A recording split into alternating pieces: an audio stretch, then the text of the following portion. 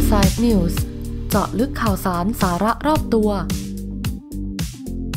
สวัสดีค่ะ นี่คือ Inside News ก่อนจี้จูริน สั่งคุมค่าการกลั่นน้ำมัน ราคาหน้าปั๊มลดทันที 4 บาทต่อลิตร ชี้เป็นประธานมีอำนาจและหน้าที่โดยตรง เมื่อวันที่ 20 มิถุนายน 2565 ที่พักกล้า นายกรจาติกวนิชหัวหน้าพักกล้า และอดีตรัฐมนตรีว่าการกระทรวงการคลังถแถลงข่าวกรณีกระทรวงพลังงาน ประกาศมาตรการเกี่ยวกับราคาน้ำมัน และราคาหน้าปั๊มน้ำมันยังไม่ลดลง ว่าเป็นตัวยืนยันและสะท้อนให้เห็นว่ารัฐบาลยังไม่มีนโยบายที่ยิงตรงไปยังประชาชนที่ได้รับความเดือดร้อน ในเรื่องราคาน้ำมันแพง วิธีแก้คือนายจุรินลักษณะวิสิทธิ์ รองนายกรัฐมนตรี และรัฐมนตรีว่าการกระทรวงพาณิชย์ มีอำนาจและหน้าที่โดยตรง ตามพรบว่าด้วยสินค้าและบริการ ซึ่งได้กำหนดให้มีคณะกรรมการกลาง ว่าด้วยราคาสินค้าและบริการ ซึ่งมีนายจุรินเป็นประธานโดยตำแหน่ง ในกฎหมายดังกล่าวกำหนดให้ก๊าซปิโตรเลียมเหลวและน้ำมันเชื้อเพลิง เป็นสินค้าควบคุม เมื่อประกาศเป็นสินค้าควบคุมคำถามคือ มาตรการอยู่ที่ไหน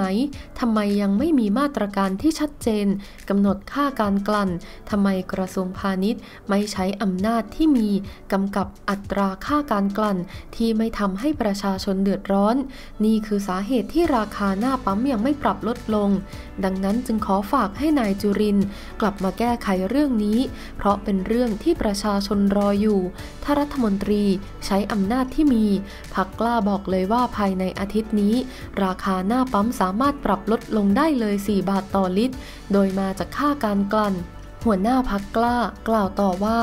ส่วนกรณีที่นายสุพัฒนพงศ์พันมีชาวรองนายกรัฐมนตรี และรัฐมนตรีว่าการกระทรวงพลังงาน ไปเจรจา ขอนำกำไรโรงกลั่น 8,000 ล้านบาทต่อเดือน เริ่มต้นเดือนกรกฎาคม ไปอุดหนุนให้กองทุนน้ำมันนั้น เป็นเพียงข้อตกลงปากเปล่า ดังนั้นต้องออกเป็นพระราชกำหนด หรือพรกเพื่อเป็นหลักประกัน